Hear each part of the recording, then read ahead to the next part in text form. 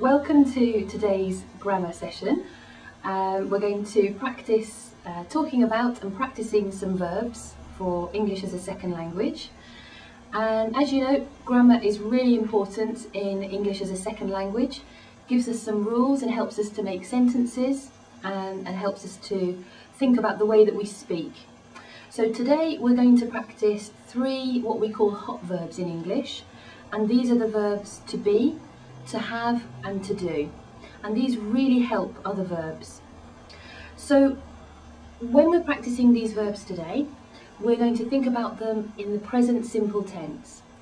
And the times that we use the present simple tense are for lots of different reasons.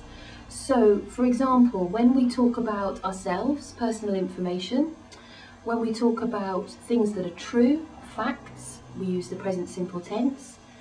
When we talk about daily routines, things that we do always or usually, often or never, we use the present simple tense.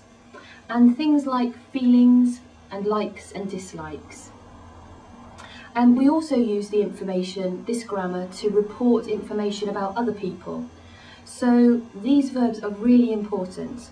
So, for example, I'm going to give you some information about myself and I'm going to use the verb to be.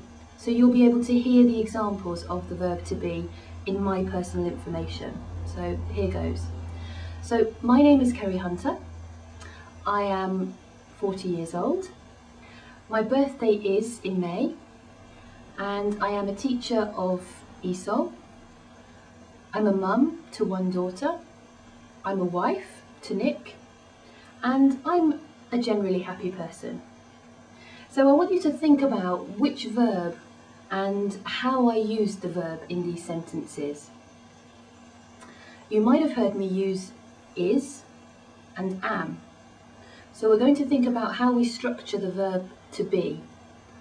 First of all, really important, you need your subject. So in this subject, I'm talking about I. So I am, I am 40. I am a teacher. You are. So you are a happy person. He is, she is, or it is, and we often call this the third person singular in the grammar. You might hear this in grammar books. And we or they are. So that's how you structure just the present simple tense for the verb to be in a positive way. So now we're going to think about how to make questions using this verb. And the easiest way to do this is to think about the present simple tense and then change it backwards, change it to the other way.